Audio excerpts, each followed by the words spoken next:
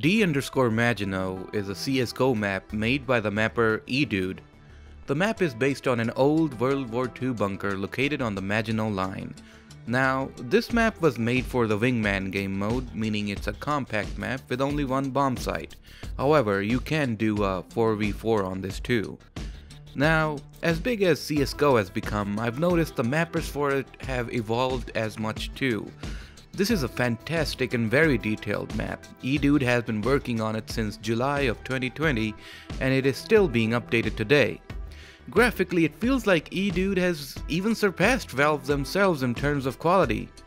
The map has brilliantly well done lighting, something that reminded me a lot of old World at War Zombies maps.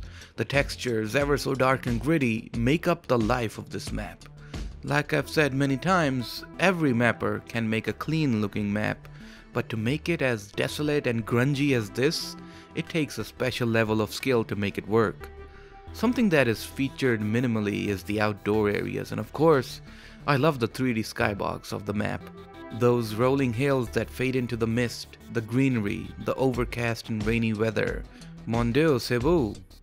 If we talk about the layout of the map, I really like the right angles present on all over the map. There's only one long area in the middle, but apart from that it's mostly close quarters, so you're mostly are going to either ambush or get ambushed by other players around the corners. With sharp angles like these, you have to check all the corners and stay alert.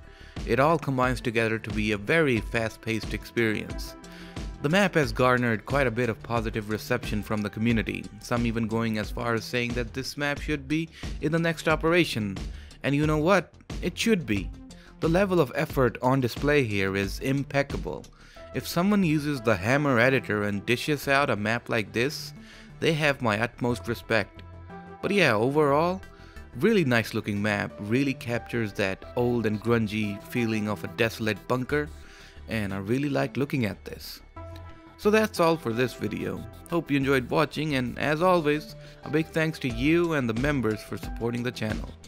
Lamdry, 15 Glorious Minutes, Geote, Hawk Assault, Cop Fighter, Jason, Mistress Baban, TTG, Winter, Alien Grunt, Mark Jelen, A Normal Street Lamp, Klaus, T-Boy301, HL1 plus 1, TRR Droid, The Hazardous Memer, Bipolet the Fighter, Forgotten, and Skyclad.